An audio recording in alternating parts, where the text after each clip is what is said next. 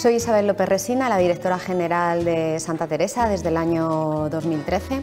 Santa Teresa es una compañía agroalimentaria radicada en Ávila de origen abulense, su origen es 1860 y yo creo que eso precisamente es una de las principales cualidades de, de esta empresa, lo que la hace singular.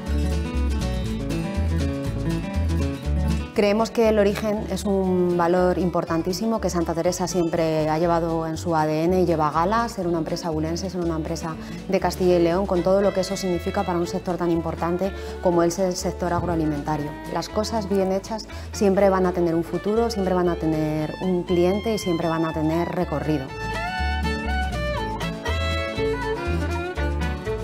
La historia de Santa Teresa, pues los primeros 130 años es la historia de una pastelería, como una pastelería singular, la Flor de Castilla, como había en tantas provincias españolas y sigue habiendo. Pero en un momento dado de su, historia, la, empresa era insostenible como una empresa, realmente era una pastelería que no daba más de sí.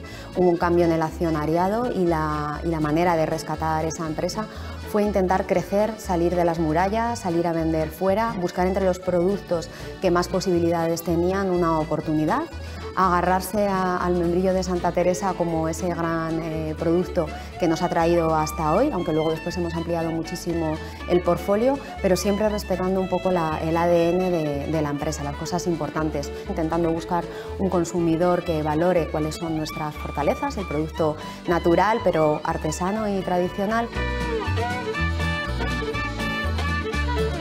Las pequeñas y medianas empresas en general tiran de toda la economía española y tristemente tenemos que decir que a veces no reciben los suficientes apoyos. Creemos que institucionalmente es de, brillan mucho las empresas con miles de trabajadores que tienen oportunidad cada vez que hacen cualquier ampliación de crear cientos de puestos de trabajo y, es espectacular y, y fantástico, pero la realidad es que la industria agroalimentaria española y en general la industria española está muy atomizada en pequeñas y medianas empresas y necesitamos mucho muchos más apoyos institucionales. Necesitamos que muchas pequeñas y medianas empresas se hagan grandes empresas. Una empresa mediana toma decisiones muy rápidas y eso les permite ser muchísimo más ágiles y les permite competir en un mercado que cada vez nos exige ser muchísimo más rápidos.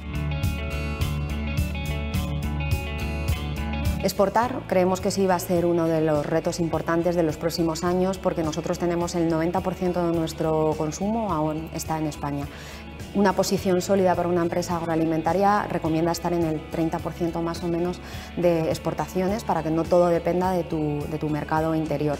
Y aunque competimos en categorías de producto que son complicadas, porque hablamos de producto refrigerado, de membrillo, que no en todas partes el membrillo es conocido, para, para un sueco o para un polaco mm, el membrillo no existe, no saben lo que es, culturalmente no, no tiene una raíz en su gastronomía, hay mucho recorrido en eso, también en desarrollar categorías que no existen.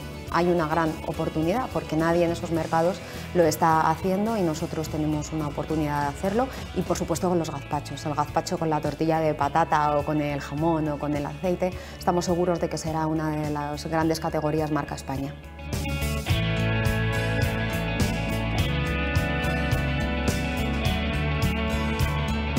El consumidor hoy en día cada vez es más exigente. La verdad es que estamos enfrentándonos a un momento en el que el consumidor súper informado, queriendo saberlo todo de alimentación, sigue siendo un reto. Lo que pasa es que lo bueno es que también es innovador. Eh, busca, es receptivo. Leen más los etiquetados, están preocupados por lo que comen, que a empresas como Santa Teresa termina por ser una ventaja. Cuando tienes un etiquetado limpio, sin aditivos, eso pone en valor tu producto. Es que eso es la calidad, ¿no? los ingredientes que has utilizado y lo que no estás utilizando para que, para que ese producto sea saludable. No puede ser que en un producto el primer ingrediente sea el jarabe de glucosa. Si tú estás comprando una salsa de tomate, el primer ingrediente tiene que ser el tomate.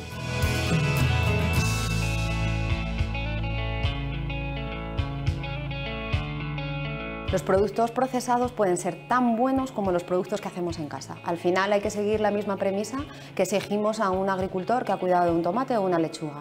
El producto ultraprocesado está demonizado ahora mismo por la opinión pública, sobre todo por muchísimos influencers, de forma injusta. Hay productos procesados nefastos como hay productos procesados que son auténticos y tan buenos como los que hacemos en casa. Solo que en la lista de ingredientes tiene que haber lo mismo que ponemos en casa.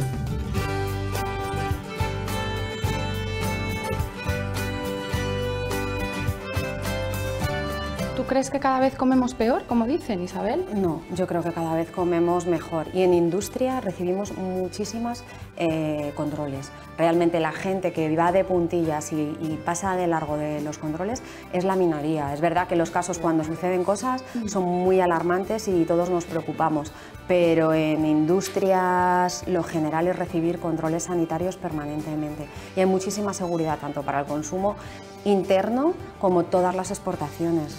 estamos de verdad eh, a veces... Quizás el momento en el que más protegidos estamos.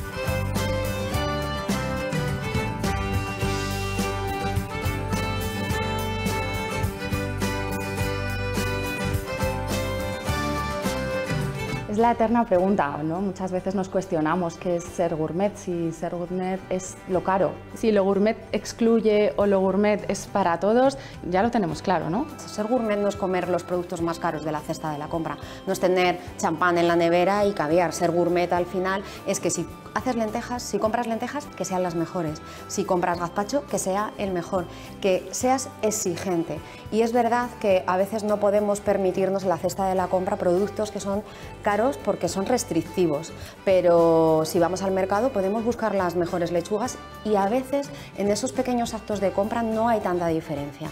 La diferencia entre el mejor gazpacho y el gazpacho más barato son 10 céntimos en una taza. De verdad a veces nos compensa el estar tomando un producto que puede tener copos de patata, que no es todo hortalizas vegetales frescas, nos compensa por 10 céntimos en una ración. Yo creo que a veces el consumidor en eso se equivoca.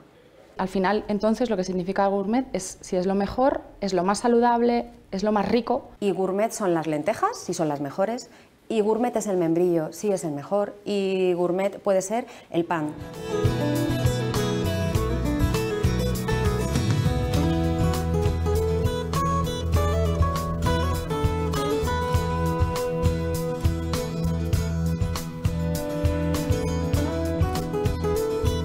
La verdad es que nosotras somos el ejemplo claro del consumidor exigente de hoy en día, ¿no? Imposibles para hacer la cesta de la compra. Toda nuestra familia nos abandona. Y pesadas. Muy pesadas. Pero la verdad es que también hay que relajarse, ¿no? Porque a veces hay que tener momentos para todo. Y, el consumo hedonista está ahí. No podemos vivir pensando en comer todo sin azúcar, todo sin grasa. Es que es una parte importante de nuestra vida. vida. parte de nuestro ADN también. Y nuestra cultura. Como, como territorio. España asocia la gastronomía al disfrute, a salir, a compartir, a los amigos, a la familia el consumidor gourmet puede ser el consumidor disfrutón. También, también. Gazpacho, membrillo, cremas de verduras, salsas y purés, huevo hilado y los dulces más tradicionales. Los productos de Santa Teresa se elaboran con materias primas naturales, sin conservantes, sin aditivos y aunque a escala industrial, de manera casi artesanal una marca que lleva lejos el nombre de Ávila y que extiende el sello Tierra de Sabor como una de las mejores garantías de calidad.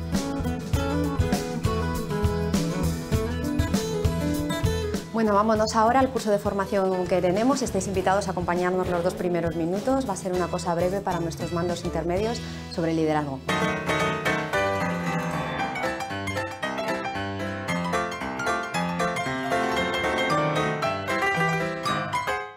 En Santa Teresa somos unos 10 mandos intermedios. Estamos representando a los diferentes departamentos, como son el departamento de retail, el departamento de compras, producción, calidad, recursos humanos, administración. El cometido fundamental de los responsables de departamento pues, sería el dotar de, los recursos suficientes a su, a su, equipo para que desarrollen el trabajo en tiempo y forma.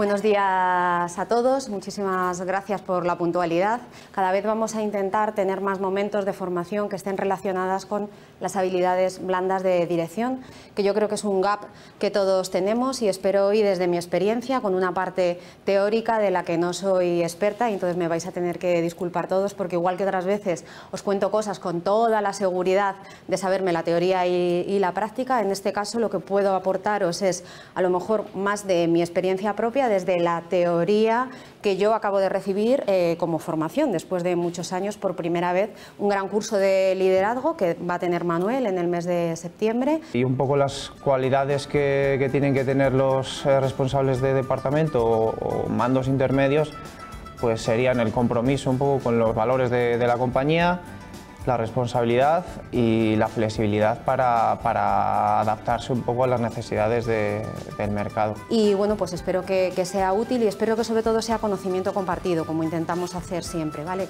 Que sea lo más abierto posible, porque de lo que se trata es de ver dentro de la cultura de empresa de Santa Teresa, que creo que tenemos, cómo podemos adaptar un estilo de liderazgo que todos eh, asumamos que es el bueno para el momento de, de la empresa y con el que también estamos cómodos de forma personal. Los objetivos un poco de- del curso de liderazgo es aunar eh, criterios entre los diferentes mandos intermedios para conseguir eh, enfocar los objetivos de la compañía pues, de la misma manera. Pues a partir de, de aquí empieza, empieza la teoría y cualquier cosa vamos parando. ¿eh?